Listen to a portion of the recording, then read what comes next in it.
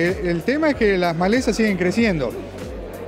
Uno pensaba que, o no sé si es un error nuestro, de que las malezas en lugar de retroceder siguen, siguen avanzando, las problemáticas continúan y, por ahí salen nuevas problemáticas. A veces estamos con la hipótesis de qué es lo que va a pasar y nos preocupa Yuyo Colorado. Yuyo Colorado tiene una franca expansión, hoy hay 16 millones de hectáreas con Yuyo Colorado en el país.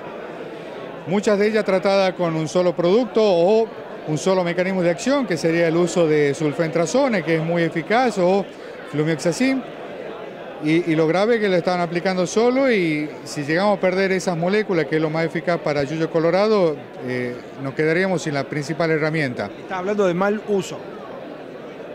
Yo creo que sí, es un mal uso en el sentido de que no solamente tenemos que pensar en controlarla, no solamente tenemos que pensar en el hoy, sino que tenemos que pensar en el futuro. Sobre todo en el campo de las malezas, que es eh, un ser superior, un ser que tiene una variabilidad genética muy grande.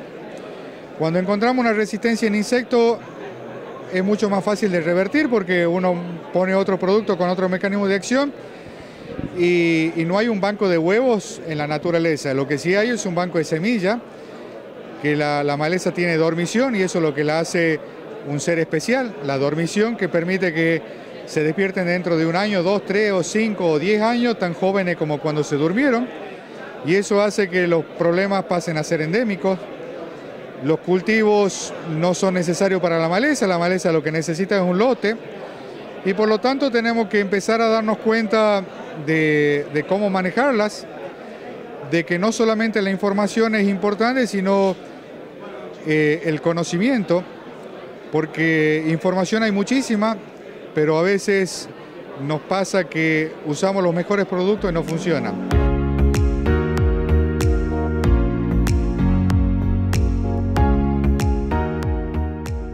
Sí, la estrategia FMC fue mostrar un poco a nivel de campo lo que normalmente contamos también en las charlas y lo que después el productor eh, lo lleva a cabo, ¿no?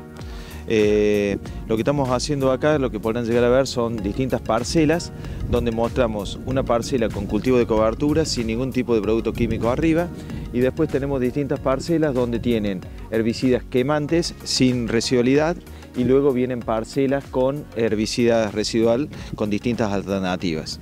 Y la última parcela que tenemos más allá al fondo es una parcela con un producto que es diferente a lo que se usa normalmente, que es de otra familia química, que la marca comercial es Pelican, que lo comercializa FMC. ¿Qué, ¿Qué, sacamos de esto? ¿Qué nos llevamos de esto? Sí, de acá se llevan de esto es, primero que la presión de maleza que había en el lote nos acompañó para poder mostrar buenos resultados.